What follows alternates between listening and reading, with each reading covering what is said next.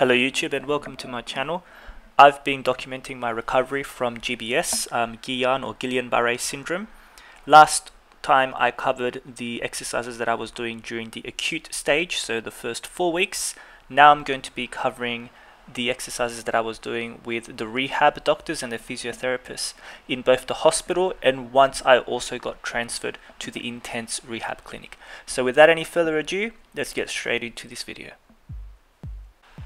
being semi-paralyzed, it was very important for me to do some form of cardio so that I was able to get my heart pumping. It would also serve as a bit of a warm-up, and since I could not use my legs, this was my form of cardio before the sessions. Seated calf raises. So my uh, lower body was so weak that I actually could not stand up without any assistance and there was no chance of me being able to do any standing calf raises. So seated calf raises was the way to go for me. As I got a little bit better, we started to change things up a little bit. A very small amount of weight was added and um, you also have to make sure that you are changing between your legs. I did change from my right to my left leg whenever I was doing any isolated exercises.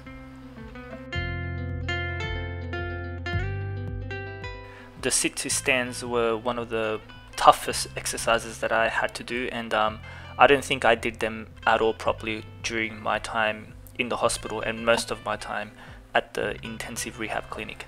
Um, assistance is very important and I was really relying on my upper body strength to try and get me there so it was impossible for me to do it without some kind of momentum or help. As you can see here I was using so much momentum that I had to have a weight placed on my feet to keep me from um, moving out of position.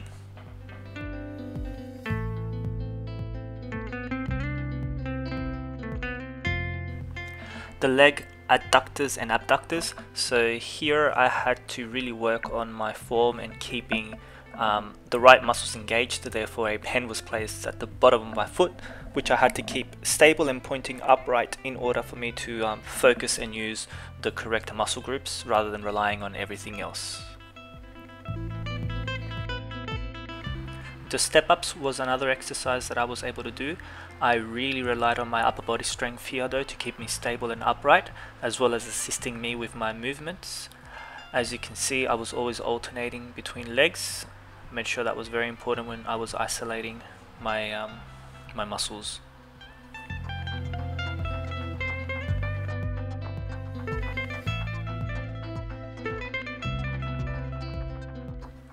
I was also making sure that I was going for about maybe two or three walks every day and this would vary between the uh, two-wheel frame and the forearm frame for me. Um, whether you're using a four-wheel frame two-wheel frame whatever it is even a, a, walking stick I really suggest that you do this every day multiple times as it's probably going to be one of the most effective ways to build balance and um, engagement of your muscles back Now the only exercises that I don't have footage of were the exercises on the tilt table which allowed me to do some squats and some standing calf raises. Now the next section of this video focuses on the intense rehab clinic. So here is when I was transferred and um, they did do exercises that again continued to strengthen the muscles and to help with functionality but they also had a lot more um, focus on balancing. Here you're going to see me doing some assisted step ups again. As I got better the step up became larger so I would have to lift my foot even higher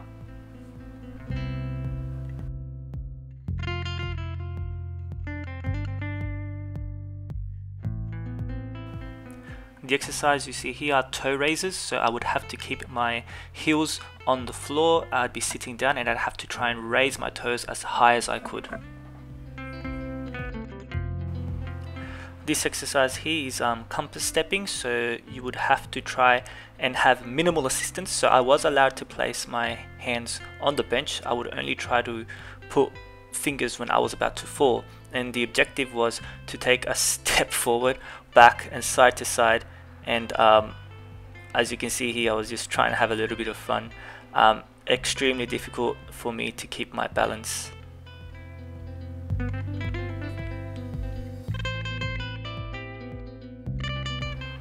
In this exercise the objective was to stand and try and move a peg from a cone to a different cone and then we would swap arms. Here the balance was really tested. Um, as well as muscles that just kept you up. I found this exercise to be really really tough.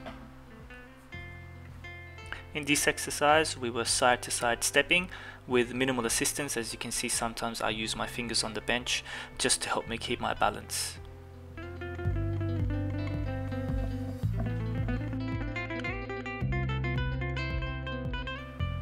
Here you have the tandem stance. Um, it really tested your balance and by the end of this I would feel the front of my shins be burning. Again I would try to use minimal assistance and swap feet with which one you had in front of the other. Make sure you reverse that later on.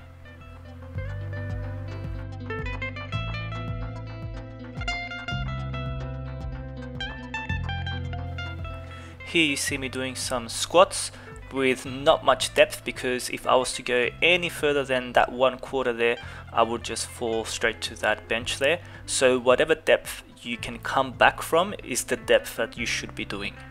Working your way down eventually to if you can a full squat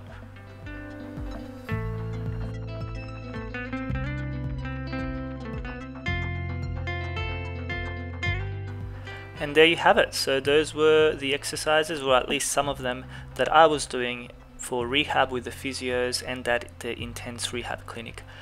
I really hope that whoever needs to see this video does see it, um, whether you are helping someone with GBS or you are going through GBS yourself. Feel free to follow any of my um, socials there or ask me any questions. And um, next video I'll show you what I was doing at home in order to recover and get ready for the gym.